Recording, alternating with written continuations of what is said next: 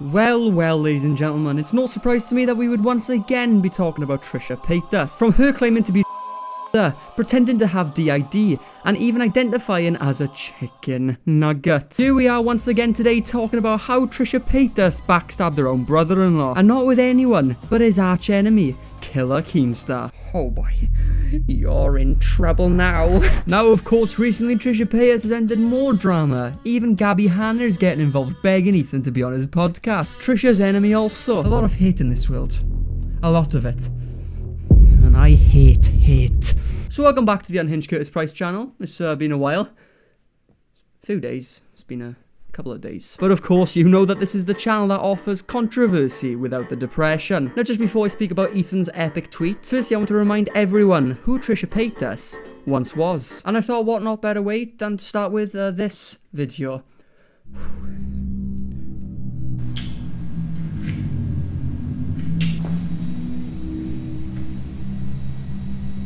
Oh, God! Oh, God. I mean, surely this has to be illegal. And how many views does this video get? When I say, let me tell you.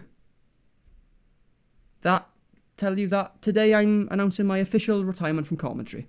Now, ladies and gentlemen, with that said, when Ethan found out that Trisha Paytas had been on Keemstar's podcast, Ethan H3H3 tweeted this. Gabbie messaged me immediately after Frenemies broke up, trying to get on the podcast. I knew it would be an interesting show with lots of views to be had, but I didn't even respond to her, and still haven't. Some things you just don't do. I would never do that to Trisha. Uh, yeah, Trisha. Um, just as Ethan said, some things you just don't do. 46. Sorry. So as we can see by Ethan's tweet, ladies and gentlemen, Ethan seems genuinely upset by Trisha's actions. But of course, this is what we should expect due to Trisha's backstabbing tendencies. And you know what? More and more we see this. And her name should be something like Trisha, don't tell your secrets to her, Paytas. I really gotta stop writing these down. Now you might be asking, how did Ethan discover that Trisha went on their podcast? Well, it was due to Keemstar posting an image on Twitter of him flicking off Ethan H3H3. Oh, you got him. You got him good. but ladies and gentlemen, just as I was preparing this video, Ethan H3H3 actually released a video on the H3 podcast titled, I'm done with Trisha. And honestly, I think you won't be surprised with what he said first.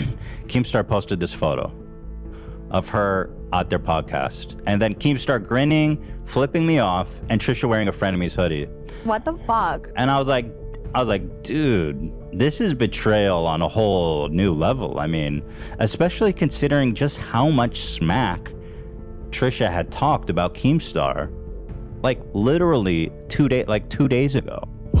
Yeah, yeah, you hear that correctly. Trisha Paytas went on Keemstar's podcast with the Frenemies hoodie, even though Trisha spoke shit about Keemstar a few days before that. Uh, this world is too much. I hate this Keemstar. This world is too much. Um, so I'm going on his podcast. This world is too much. anyway. This world is too much. and honestly, ladies and gentlemen, this is why Trisha Paytas will never change. She has the balls to do stuff like this to her own brother-in-law. And honestly, as soon as I heard this, I thought to myself, wait, you're telling me Trisha Paytas backstabbed someone again? oh no, I'm so surprised. But once Ethan posted his Twitter statement, you never guess how many times Trisha Paytas posted content about him. Two TikToks, a 4 minute video, and three tweets. oh wait, no, that's a, that's a 7. 27 TikToks, 42 minute video, and 23 tweets. Right. Sorry guys, just really fucking bored at this point. And honestly, I don't think I've ever actually posted that many tweets in one year, let alone in one day. And that's because I actually have a life. And you know what, my friends? H3's video was actually an insane video. Some of the points he made in his video was just magnificent. For example, Trisha slated Gabbie Hanna in one of her videos. And let's just hear what she has to say. Also, this message is Gabbie Hanna. Gabbie Hanna, you still suck.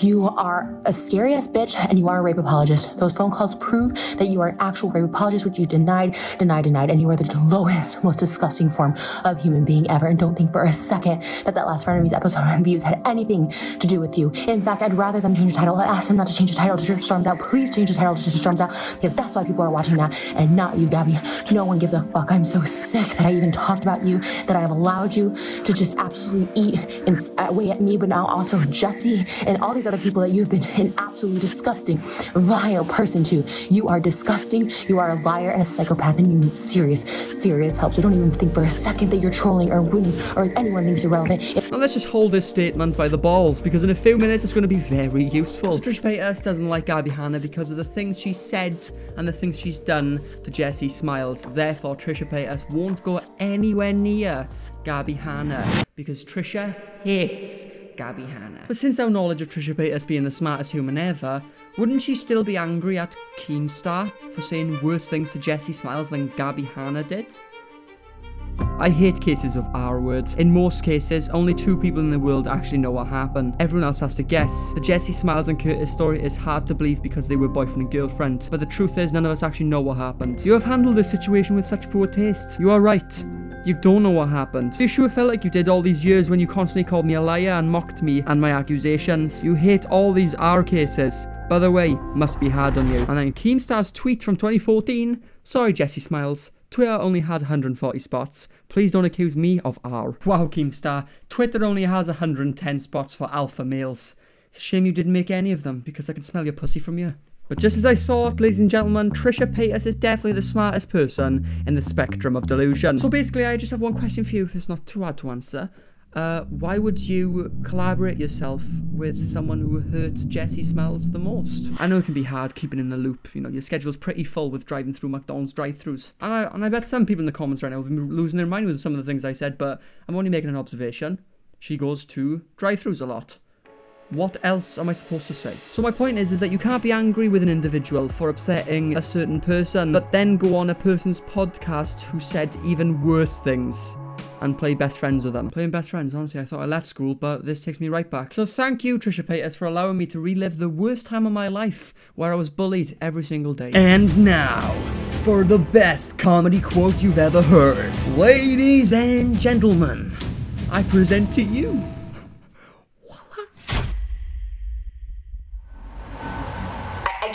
don't know what I would do if I was in that situation, right? But like sending hate towards someone or something when there's like a bad, like it, it doesn't feel like the right answer. I've never sent hate that way. I'm like, I've had to defend myself on that video. What do you mean? Oh god. Tr- tr- tr- Trisha.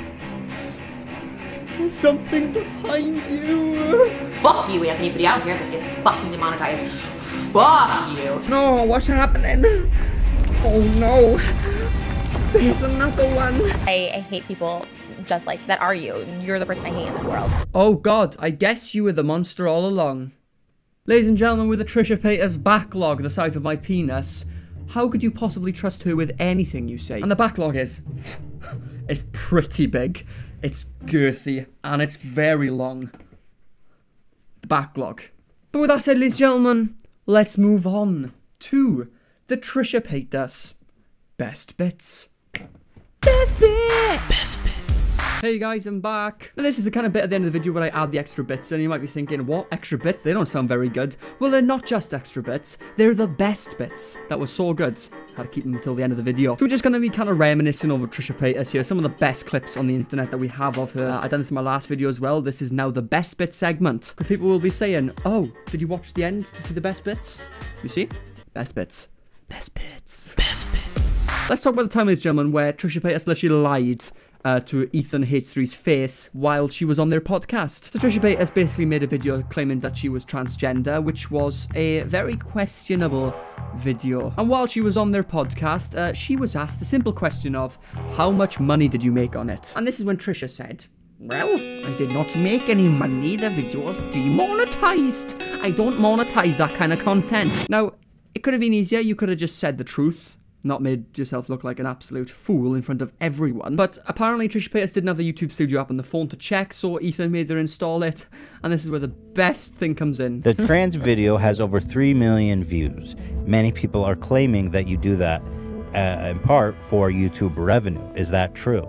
No, because YouTube doesn't monetize uh, like LGBTQ plus videos. Like if you talk about it, they don't put it, they don't put ads on it. Also, I demonetize any of my scandal videos. My my first H3, my response to you guys was demonetize, or I, I didn't monetize. I wasn't demonetized. I monetized it. All my vlog squad videos, those are all not monetized. I showed it on Instagram. I'm So, like, I don't monetize any I went to your channel yesterday, and that video gave me two pre mid rolls, two of them. Yeah, you no, but YouTube does that. I can I literally can show you. I can screenshot it and show you. Like it'll say like even on my demonetized or ones I did not monetize myself, like any ones I've made. Apology, and then it's coming up regarding my I am transgender. Three million views, green icon, monetized, and I'm going to tell you exactly how much money No, she don't made. say how much She made eight thousand dollars from that video.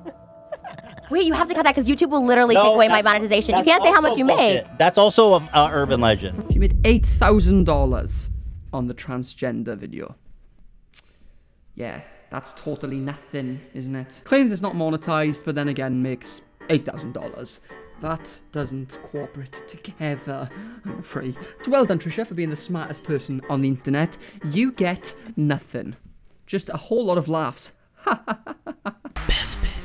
Now, Trisha and Keemstar, they have a very odd relationship. Um, for some reason, Trisha doesn't want to be friends with Keemstar. Um, then, if that's the case, why were you acting like you wanted him to be more than friends on Twitter? Hey, Keemstar, can we do a collab for OnlyFans and I'll eat your out? You don't even have to shower. I like it total butt ass dirt shit. Licking a man's butthole when he hasn't showered. Let me tell you the things about a male's butthole.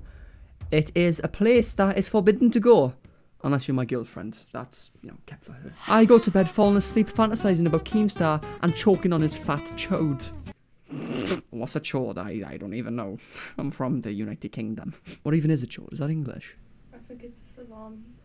Right. So Keemstar mentioned me on Drama Alert today. Does this mean he can fill my asshole with sp now or what? What do you think about that? Yummy. Yummy. Keemstar, a 40 year old man with children, f- wanting to fill. Whoa, no, I didn't say that. I said Keemstar's got children, yeah? Yeah, Andrea, Keemstar filling children. Nice! So, ladies and gentlemen, thank you for watching the best bits. Um, I'm going to do this more often, I think. Uh, and also, thank you for the support in the last video about my deep chat. Uh, I am extremely grateful, and I would like you to subscribe if you're new, of course, so we can reach 100k. Uh, it means a lot to me. And, of course, like the video, let's reach 1,000, 2,000 likes. And a comment for the algorithm. Want to see those comments build up, baby? Yeah. You mad, bro? Uh, yo, I said, tell me what you mad for. Uh, you mad, bro? Uh.